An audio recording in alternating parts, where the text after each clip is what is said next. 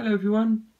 So you may have heard the term, if you're into Bluetooth speakers like myself or any other speakers, passive radiator technology. Now, what does that mean? You know, why do companies keep, you know, going on and on and on about these passive radiators? I know JBL pretty much the whole fleet uses passive radiator technology. But what actually is it? So, in this video, obviously, as the title suggests, I will explain and demonstrate how passive radiator technology works. So here we have a Flip 3, obviously with the cover off, so I can show you all the components. So here you have two 40mm speakers, full range speaker drivers. But on the ends is the passive radiator technology that everyone's going on about. Now, how this works is you've got the two speakers here, driven by the amplifier, of course, in the back of the speaker. Now if you look around the speaker here, there's no holes, it's a completely sealed unit. There's a very good reason for that, because in order for the passive radiator technology to work, it has to be a sealed unit, because how it works is these speakers, doing their normal job obviously, will vibrate to create the sound. Now if you have a sealed unit, these speakers will vibrate they will make air pressure in the body of the speaker here, which will then drive the passive radiators. So, as you can see, if I push both in, the speaker cones come out. If I release, the speaker cones go back in. Same thing on this side. If I push the other passive radiator, that one moves. And it's all to do with the air pressure inside the speaker. The reason the companies use these is because they can extend the lower frequency range of the device. So rather than having a ported system with these types of speakers, obviously it's not going to sound that great. But with passive radiator technology, it makes it sound a lot better. So what I'll do now is I will play a song on the system with both speaker cones intact in the, in the device and then I will play the same section of the track with one speaker cone removed because if I remove one speaker cone it will break that air seal which is crucial to this how this system operates.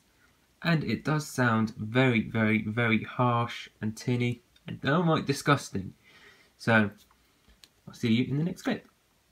Okay so this is what the Flip 3 sounds like with the passive radiator technology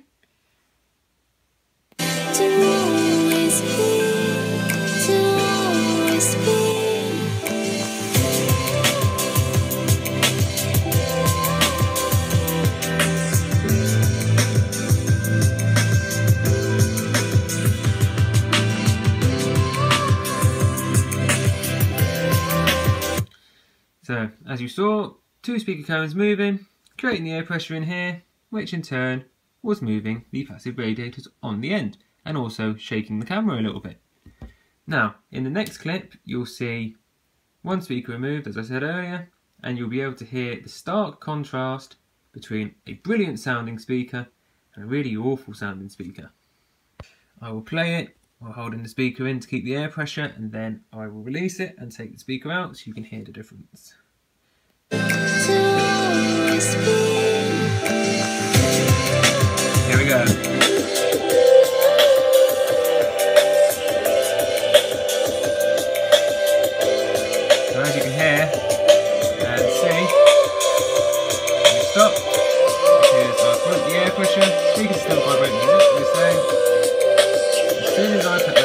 Back in,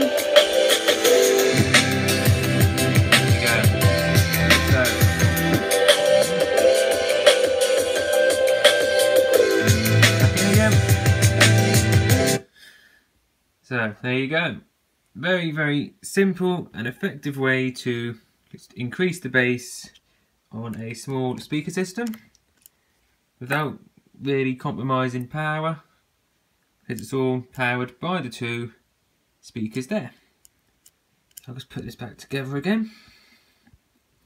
Do not try this at home because it's very very easy, especially on this speaker, to damage the seal and then the speaker is basically useless because as soon as you break the seal on the speaker cones here it won't sound as nice and it'll just sound awful like it did when I took the speaker out.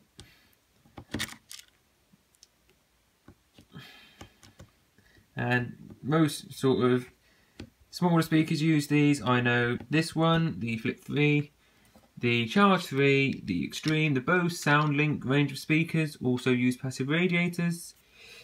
If you want me to do a demo on my two Bose speakers, I have the SoundLink 2 and the SoundLink Color. If you want me to do a demo on them, just let me know in the comments.